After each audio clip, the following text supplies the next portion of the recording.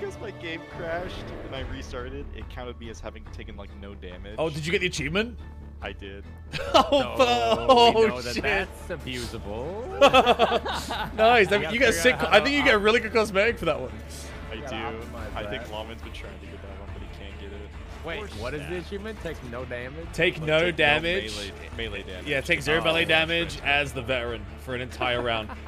Wow. That's so I just got a legendary as a reward from the Emperor.